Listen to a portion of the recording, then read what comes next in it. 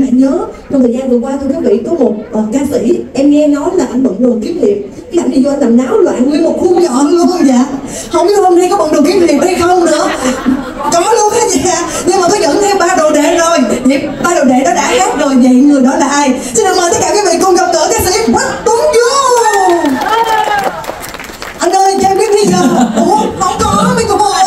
vậy hả hôm nay em xuống núi rồi.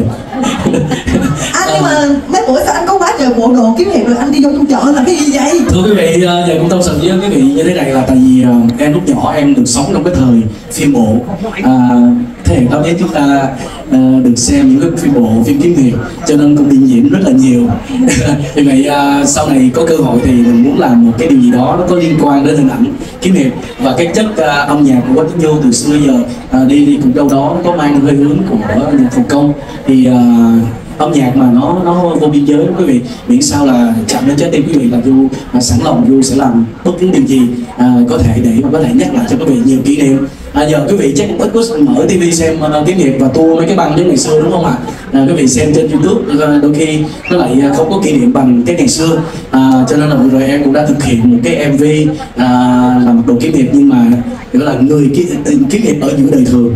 Đời thường là bây giờ là mọi người vẫn đang sinh hoạt mua bán trong các chợ à, em đứng ở trong chợ hát. Và sau đó cái MV này phát hành trên YouTube thì mọi người cũng đón nhận rất là nồng nhiệt. Nhưng mà bữa đó anh có thu hoạch được gì không? Đâu bữa đó không bị chửi là mai lắm. Bị mấy cô bán thịt. Ờ, nó là trời ơi cô làm đáo gọi như vậy rồi sao cô bán được? Dạ chút xíu con mua hết cái sạp thịt cô? Mà cuối cùng là thiệt ra là cô cũng là một trong những người làm náo loạn luôn mua sắm chợ đó nói chung là cũng nhờ là cái là mình sống chân thành mình nói chuyện có chân thật cho nên bà con ở trong chợ lúc đó là tự nhiên là không còn không còn căng thẳng nữa mà mà rất là mến mình. Cho nên là đó có tiếng du được bà con cho phép quay một cái ờ, buổi đó một nữa hai ba mươi phút á. Chứ đâu đơn giản đâu mà trong chợ một cái chợ nhỏ xíu mà mình làm náo loạn như vậy mình cũng rất là lo lắng. Ban quản lý chợ người ta cũng cầm lên. Và sau đó em cũng dạ. Sau đó em cũng ờ, bù đắp lại là em mua 5 triệu tiền vé số em tặng hết cho mấy người trong chợ. Thậm chí khách đi chợ cũng mua cũng cũng được nhận cái, cái vé số đó mà không biết có ai trúng không thì biết. Trời ơi tiếc quá hôm nay anh là bận đầu kiếm hiệp nữa là chúng ta có vé số rồi đúng không quý vị đây bắt đầu kiếm hiệp là một cái không gian khác rồi. Bây giờ bây giờ phạt phạt hát dạ Dạ, cảm ơn Ngọc Tiên rất nhiều và cảm ơn Ngọc Tiên uh, đã giới thiệu phần trình diễn của anh. Thì uh, cảm ơn uh, tất cả quý vị đến với sân khấu ca nhạc trong những ngày coi như là quá mệt mỏi. Mệt mỏi là quý vị đã đi chơi trước đó quá nhiều rồi. Có một số quý vị uh, đi chơi xa nắng nóng fan của Du cũng gọi điện đó là hôm nay rất muốn đi nhưng mà vì đi đi du lịch bị nắng nóng quá đôi khi về bệnh không đi được. Cho nên là các quý vị mà chịu đến đây và là những người thật sự quá yêu mến nghệ sĩ trong đêm nay một lần nữa cho phép em xin được nói lời tri ân với tất cả quý vị. À, bây giờ em sẽ được hát à, một bài hát nhẹ nhẹ trước. Và bài hát này à, là nhạc mà Hồng Kông nếu mà các cô chú ngày xưa có xem phim mà lìa bất dung tình thì sẽ nghe cái đoạn đoạn nhạc intro nên là quý vị sẽ thấy không gian nó, nó, nó trở lại cái thập niên à, 80 với bài hát được mang tên Nghĩa bất dung tình một đời mơ mộng.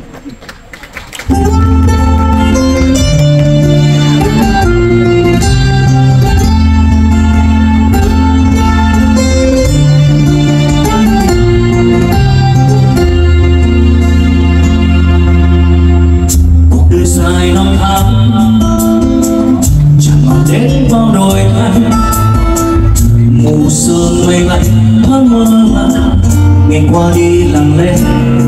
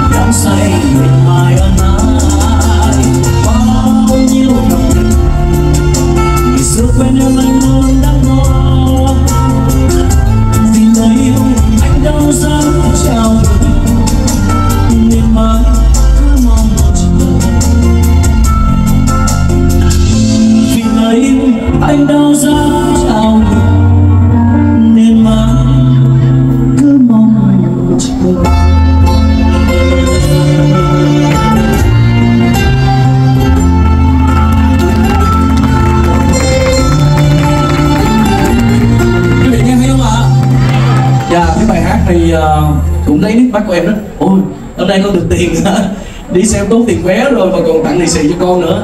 Con cảm ơn con rất là nhiều nha. Dạ hồi cũng sẽ đến à, cho con tâm sự là tại vì à, trong người con nó chấp chứa rất là nhiều thứ à, tình cảm gia đình đó thì à, nói chung là bố mất sớm. Cho nên là con phải con chạy sớm và con muốn chạy sớm con là gặp rất rất rất là nhiều hoàn cảnh mà trong đó hoàn cảnh gia đình của con. Cũng đã có những cái khúc mắc những cái uẩn khúc mà mẹ con phải lên liền chịu đựng rất là rất là lâu năm. Nhưng mà mẹ con có một điều là con rất là hãnh diện. Mẹ con sống rất ngay thẳng sống rất là kiểu mà chịu chơi. À, tất cả mọi thứ mà cảm thấy là không phải của mình là mẹ con sẽ không bao giờ giành lấy. Vì vậy đó cũng là một cái lý do mà tại sao con lại có những bài hát nhạc đời tại vì quý vị biết là nhạc đời nó khó hát đó quý vị. Nếu nếu mà cái tâm trạng mình có làm những cái điều gì gọi là cũng khúc sai trái, khi mình hát không bao giờ đặt một cái tâm đó vào được khi con đứng đây con nói trước quý vị. Tuy là không phải là hàng ngàn khán giả, hàng triệu khán giả, nhưng con tin chắc rằng những lời nói của con, nó là phải thật sự là phải đúng đắn bởi vì sao? Bởi vì một khi lời nói tốt ra rồi sẽ không bao giờ lấy lại được. Và con luôn luôn tâm tâm niệm niệm và những lời này con dạy trong cuộc sống này. Mình sống, mình làm cho chính bản thân mình, có được mình sống mình hạnh phúc. Mình dù cho cái đồng tiền đó không có nhiều mà mình vẫn thấy hạnh phúc trên cái đồng tiền mình làm ra.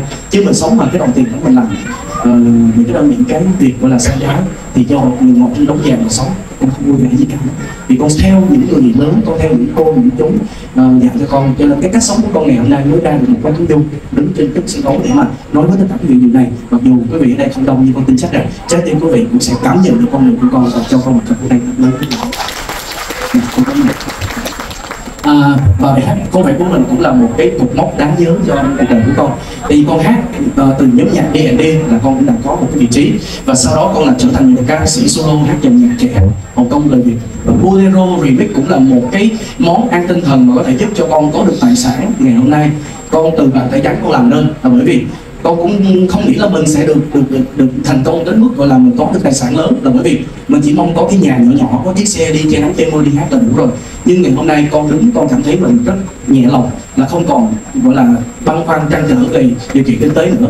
Là bởi vì con được cái phần thưởng lớn là từ cái bolero mà con vì viết lại, con hát chơi chơi thôi. Và sau đó đó ông trời, ông tổn thương cho con, thành công với 80 triệu lượt view trên youtube. Thời đó con kiếm về được rất là nhiều tiền từ cộng đồng mạng đã đã um, đã xem cái video đó và con tìm quảng cáo gửi về cho con con cùng với con.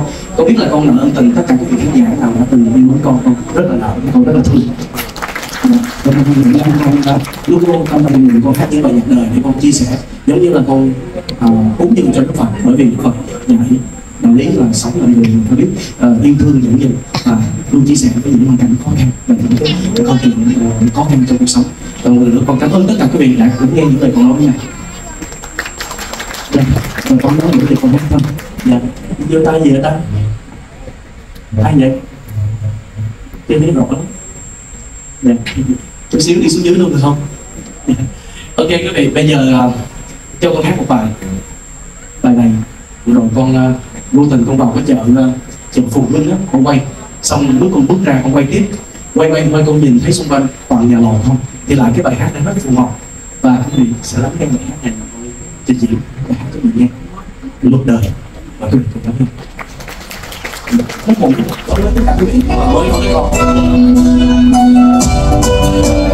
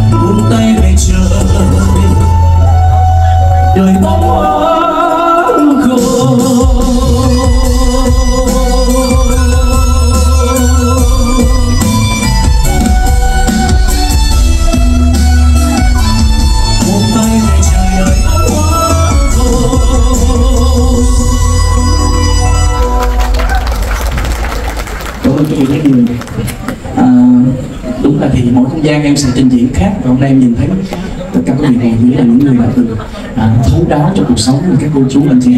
Và giống anh chị ngoài hàng đầu em đã nhận ra đó là chị Đức Châu chị Thọ. Và người bạn thân thiết là chị Bích à, như là chị Vin Vin Happy. Đúng không? Dạ.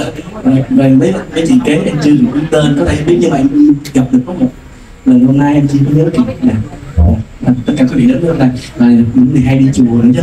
Đó, cho nên là em à, rất là cảm cảm động với cái bài hát vừa rồi. Em hát đúng cái tinh thần của quý vị đang ngồi dưới. Quý vị có yêu cầu gì cho em hôm nay không ngoài cái bài hát họ đi phút lớn thì còn yêu cầu thêm cái gì nữa em chuẩn bị á? Có thể là em em hát bài này thì em thích, nhưng mà có nhiều người cứ nói là em phải sợ cái lấy bài này ra hát chứ mấy người nói là mấy người nói chết rồi họ không hiểu em hay sao á? Có người có người nói tại sao có bài hát hoài à? thực ra cái bài này quý vị yêu cầu thì em phải hát thôi. Mà giờ up lên mạng đó thì mọi người lên nói em, em mặc dù em là nghệ sĩ em biết là uh, chắc chắn sẽ gặp thị phi.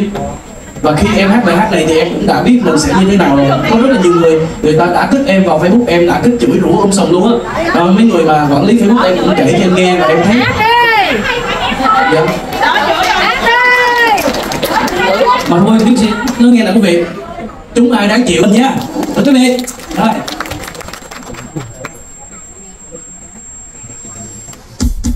Quý vị có thể giúp thêm một tay cho không biết sao mình phải không ạ?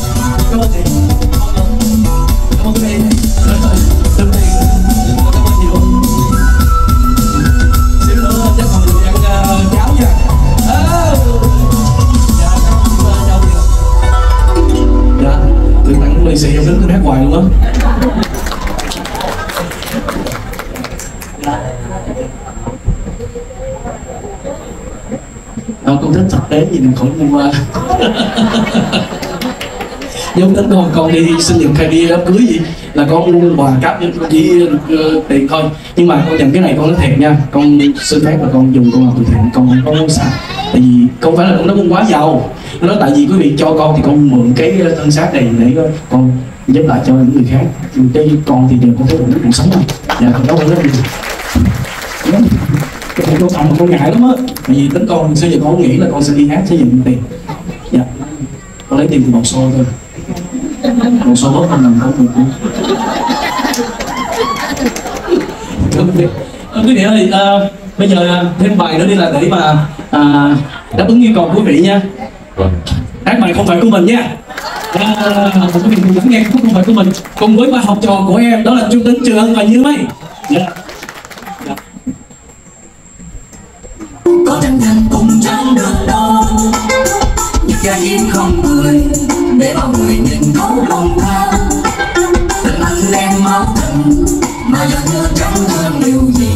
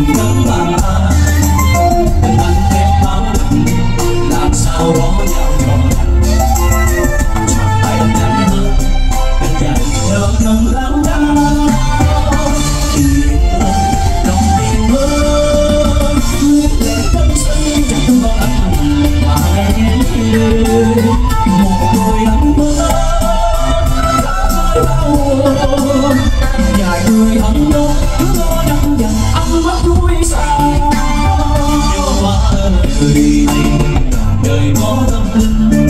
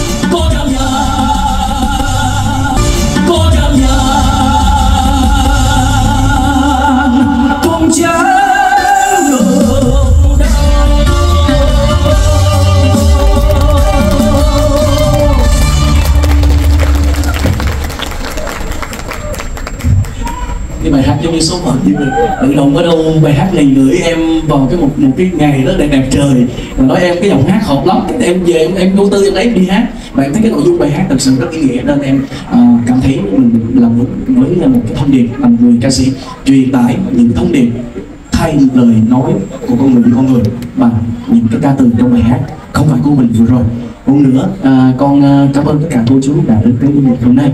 Với một cái tình hình kinh tế khó khăn một cái thời tiết rất là nóng một cái sự giải trí không có cái gì gọi là mới mẻ cả. Bây giờ ai cũng có sự lựa chọn giải trí rất là nhiều. Và quý vị đã dành thời gian đến đây là một điều rất là hạnh phúc. Cảm ơn tất cả nếu mà thời gian xin xin hết nữa.